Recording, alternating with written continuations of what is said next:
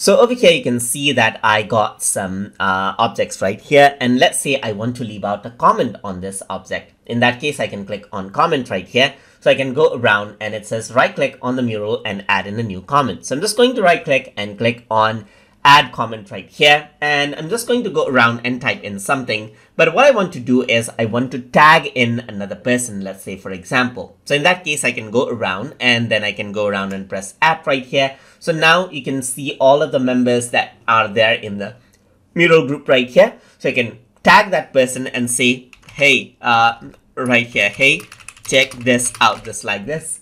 And I'm going to click on send. So once I do that, what happens is that now the other person will be tagged out. So the other person knows that the tag is for them itself. So other person will be uh, notified out and then they will be able to see this. So it says, hey, check this out. So you can go around and reply to the thread. So I'm going to go around and say all is okay just like this and press send right here and the reply will pop up right here as you can see. So that is how you can go around and tag in certain spots right here and then communicate with other people. You can add and comment right here, press add, tag that person right here and say hello.